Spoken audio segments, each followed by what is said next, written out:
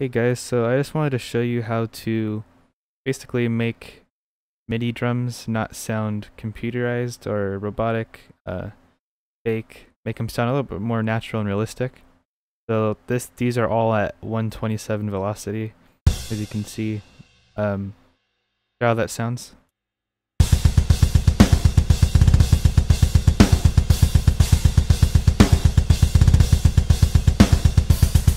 Alright, so there's two ways you can do it.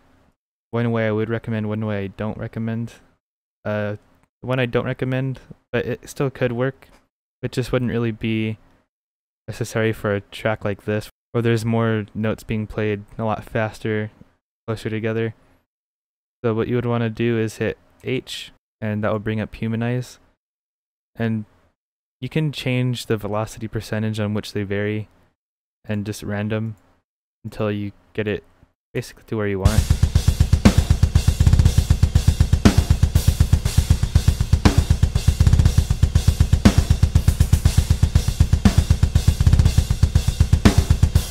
So since that's how, that since that's all randomized and different velocities on everything, um, what that will basically do is make it sound more human, which is what Humanize does. So what no drummer can hit every single note the same velocity every time, which is why when you do that when you're programming drums, it will sound robotic. So let's hear it with all 127 and then we'll go back to the humanize and see the difference. And then with the humanize.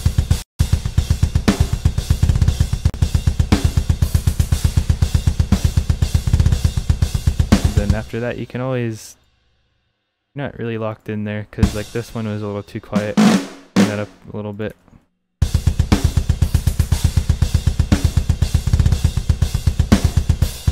Since the snares are pretty far apart they don't have to be super random. They can be pretty hard if you wanted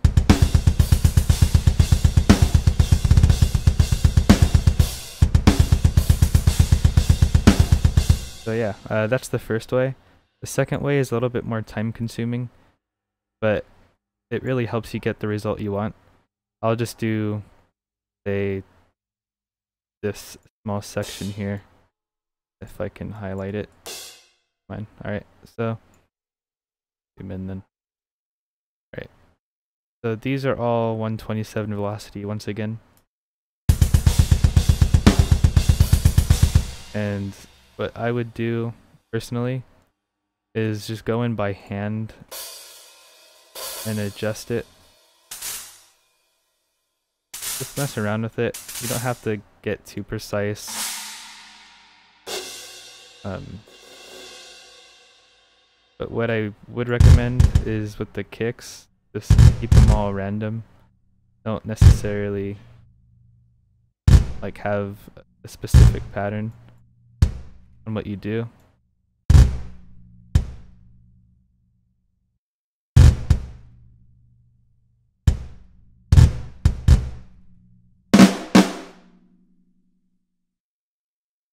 Do this one last note. So it's like a it's a subtle change, but I'll put it from here, let it play, and then it'll get to the the the more natural sounding part and then it will go back into the robotic sounding one. So let's hear how that sounds.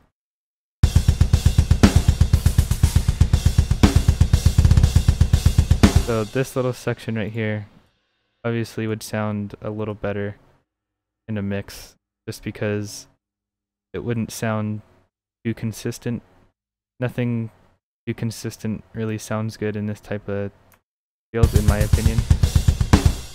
But each their own, I, I suppose. If you wanted to even keep it all 127 velocity, you can. It just depends on the sound you want to get.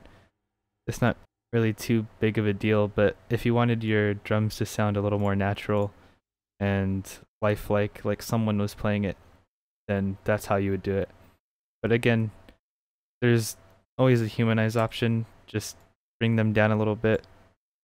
Random seed it'll do it for you. Just adjust a few notes here and there if it hits a little too quiet if you want it to be louder. It's nothing to think too much about. especially when you're doing it all by hand, it's not a good idea to do a pattern because then it'll just be hard, soft, hard, soft, and it might it's, it might sound a little fake if you do that too, just because you tried a little too hard. so yeah, I hope you guys learned something new and hope you enjoyed the video. I'll see you guys next time.